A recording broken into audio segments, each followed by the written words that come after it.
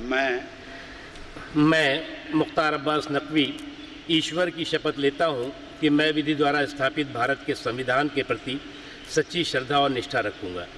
मैं भारत की प्रभुता और अखंडता छोड़ रखूँगा।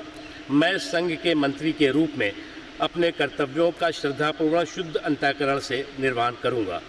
मैं भय या पक्षपात, अनुराग या द्वेष के बिना सभी प्रकार के लोगों के प्रति संविधान और विधि के अनुसार न्याय करूँगा।